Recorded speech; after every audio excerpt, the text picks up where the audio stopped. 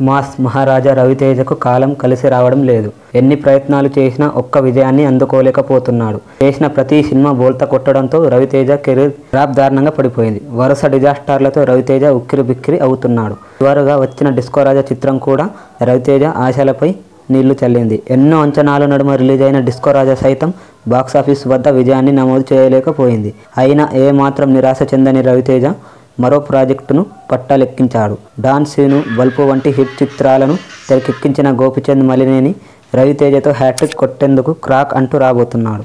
ఇప్పటికే రిలీజ్ చేసిన posters crack సినిమాపై అంచనాలు పెంచేశాయి. ఆ మధ్య రిలీజ్ చేసిన టీజర్ ఓ రేంజ్లో వైరల్ అయింది teaser visuals action scenes background music ఇలా ప్రతి ఒక్కటి సెన్సేషనల్ అయ్యాయి. తాజాగా మరో పోస్టర్ను రిలీజ్ చేసింది చిత్ర యూనిట్. శ్రీరామనవమి సందర్భంగా విడుదల చేసిన ఈ పోస్టర్లో రవితేజ తన ఫ్యామిలీతో సరదాగా గడుపుతున్నట్లు కనిపిస్తోంది.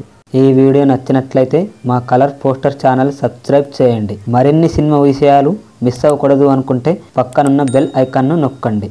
లైక్ కామెంట్ షేర్ చేయడం మాత్రం మర్చిపోకండి. Thank you